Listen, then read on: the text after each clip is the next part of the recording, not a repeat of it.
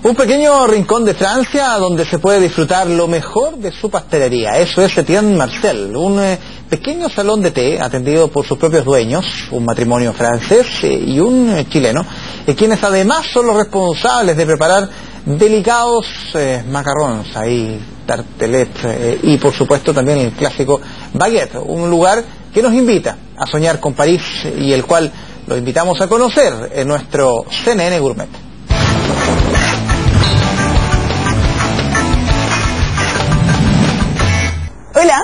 Eh, soy Leticia Gómez y aquí está Elliot Lavirte-Talra.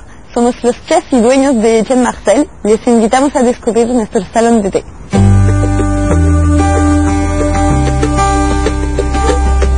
Elliot y yo, Elliot que, que también está en las cocinas conmigo, eh, estábamos en una práctica hace dos años atrás, eh, cinco años atrás eh, en Chile y nos conocimos con nuestro tercer socio, Luis.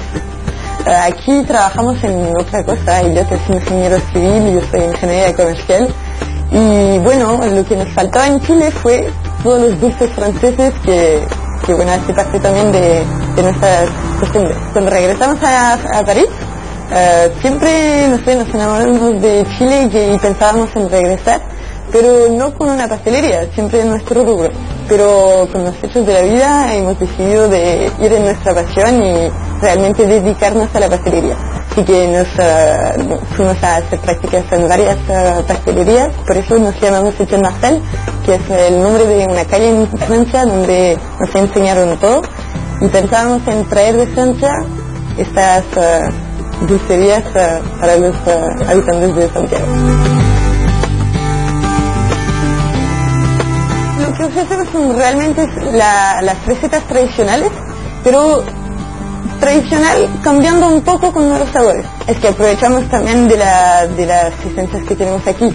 Es que las frutas aquí son maravillosas.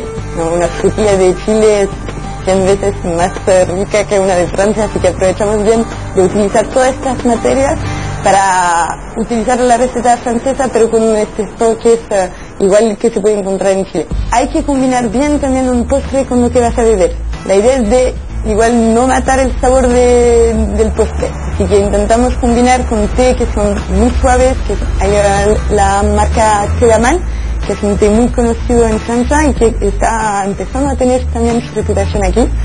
Son té de alta calidad en hoja y se combinan perfectamente con los macarons. También todo lo que es panadería, ahora ofrecemos uh, croissant, pan de chocolate, baguette, así que estamos uh, ampliando un poco la gama.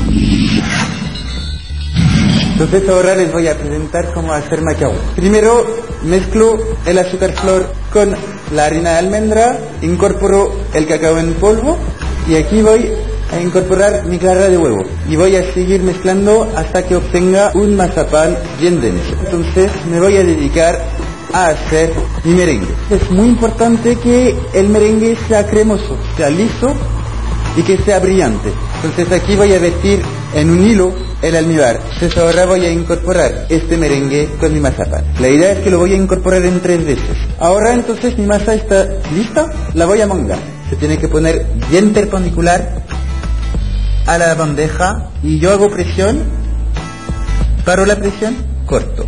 Y luego voy a dejar reposar un poco estas bandejas antes de hornearla. Una vez que, que, tienen eso, una, como una capa bien seca eh, en la superficie del macarón, los pueden hornear como entre 15 y 20 minutos según su horno y entre 150 y 170 grados también según su horno. Pero eso es la.